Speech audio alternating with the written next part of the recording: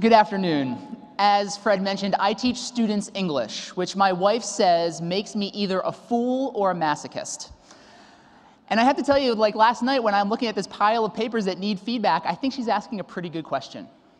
But English was just something that I could not resist. Teaching students to think about the human condition and to explore the essential questions of life was something that's just such a meaningful way to spend my day and to spend time. Exploring English also means that I deal a lot in narrative. It means that we explore the narrative or the plot types that you're probably used to and familiar with the rags to riches story, the overcoming the monster, the comedy, and the tragedy. And we think about how some of those might apply to our lives. When I think about my personal journey, the narrative of the rebirth, I think, applies most prominently, with school playing a central role. See, when I was in adolescence, I went through a period of time where I was very much not fully alive.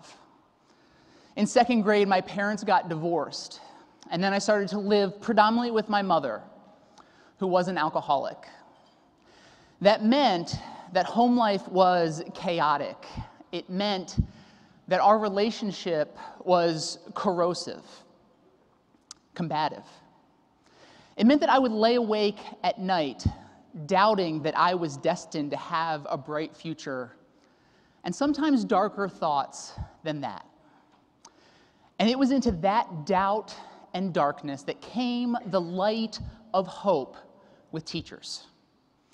I met Mr. Reagan when I was a 10th grader, and, and his after school program, the Viking Channel, was my safe haven after school. It meant that I could be with someone who valued me and believed in me, who was easy to laugh and made me feel loved.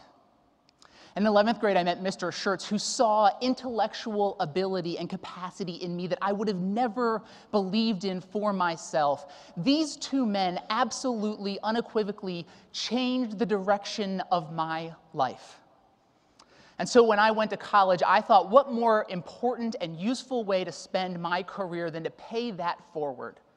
To have my own classroom where I gave students the conditions to feel valued and capable, to feel that someone believed in them and held them to high expectations so that they could become their best selves. I've been fortunate to have that opportunity. I was also given the opportunity to lead students through a program that focused on helping to create a pathway from poverty to possibility. We built a site of the AVID program at my high school that has helped students from the academic middle with dreams to be the first in their family to get a college education to flourish. And in the last four graduating classes, 98% of students graduating from the program have earned a four year college admission.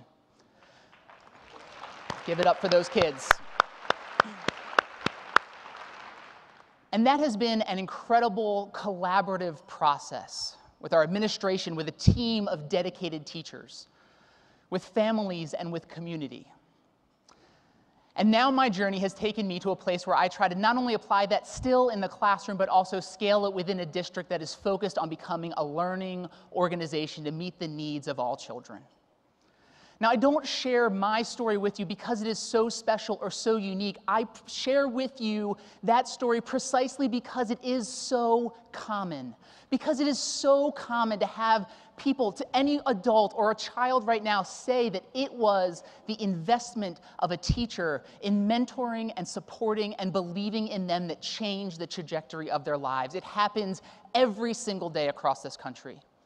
I share it with you precisely because so many teachers get into this work because they believe that schools can be an institution that creates opportunity, because it can be a vehicle for social justice in this country, because teachers work 10 hour days. And then they do professional learning, often on their own time, so that they can get better for kids.